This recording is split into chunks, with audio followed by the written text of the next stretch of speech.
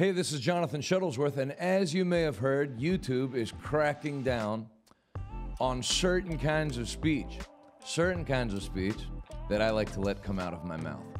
So, in preparation for the inevitable, we're playing Check the News every night at the normal time, but once it's over, you can't watch it on YouTube anymore. So go to my new broadcast app. There it is. You can get it in the App Store, Google Play, or just go on your browser to revivaltoday.tv. You have to subscribe, but it's free. Free for everybody, and you can always watch me there.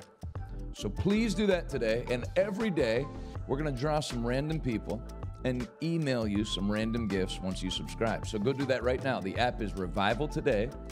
Download it and enjoy it. Not only is Check the News on there, all our broadcasts are on there, archived, uh, Netflix style. And then um, I was going to say something else, but I forgot what it is. So download it now. Revival Today is the name of the app. Thank you for subscribing. Thank you for supporting Check the News. And you can catch all of our programs. Plus, we have 24 hour broadcast going. Just leave it on. Enjoy. For everybody here at Revival Today, thank you. I love you.